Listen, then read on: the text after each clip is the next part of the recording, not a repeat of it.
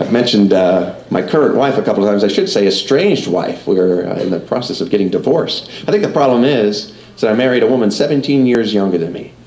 You know what you get when you marry somebody 17 years younger than you? A lot of text messages. a lot. I learned a lot from the relationship. I learned that they won't sell you a handgun if you're crying.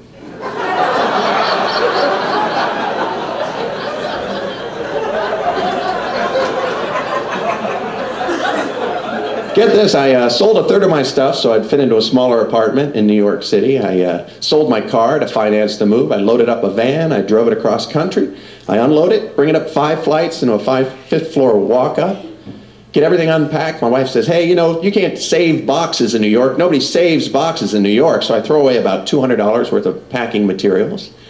Then about four days later, she says, you know, you're a great guy, you're a wonderful husband, but I want my life back. I said, I want my boxes back. Could have told me that four days ago. This is how self-centered she is. I said, I'm going to kill myself. She said, but everybody will hate me.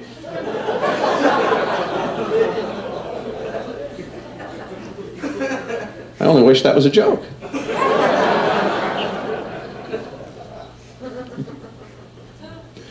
I think what really happened is she realized there was a couple guys on Craigslist she hadn't slept with yet, and she went back to pick up the 710 split.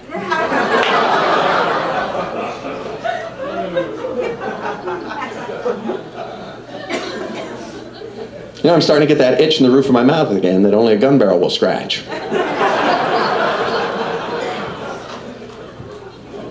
so what am I supposed to do now? Get a, like, join a dating service at my age? I, Thought of joining that Matchmakers International, but who wants to drive all the way to Cairo? Especially with gas prices like that. Of course, over there you'll get the really fresh gas.